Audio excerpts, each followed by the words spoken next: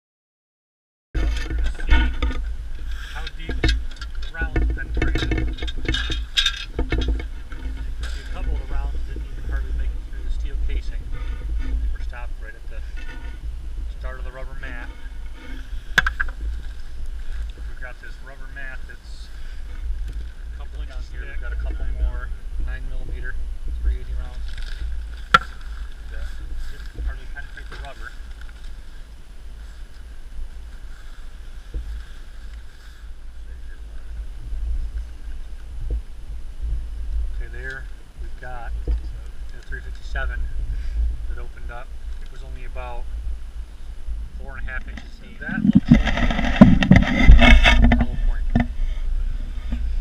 Found at about six, eight inches, maybe. The advantage to using this kind of target is you can shoot well over 200 rounds into it as we have here in the last week. Before you even got to worry about cleaning it out, you can retrieve all your lead. We've retrieved a lot of our stuff, and then we melt it down into little ingots. And then, storage purposes, we can melt down later and turn back into ammunition and recycle. Um, just like the rubber, it's made of a recycled material. So, all right, we're about 18 inches into the barrel. And just come across a couple of uh, the 338 rounds. Obviously, that's going to be the stock load, your standard soft tip. This was the hollow point with a moly coated ballistic tip on it. So, 225 grain bullet, stop 15 inches of rubber. I think that's a pretty effective target. Okay, these are the materials we used. We got a rubber mat from our local company. It's uh, CM Rubber Technologies.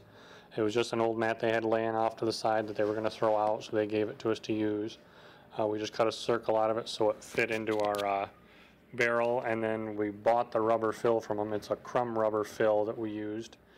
Um, it took about five bags to fill our drum. The bags sell for 7.50 a piece. They did say that they would sell the mats to us once they had them figured out what they were going to do. We've put a lot of ammo into this so far and had really good luck.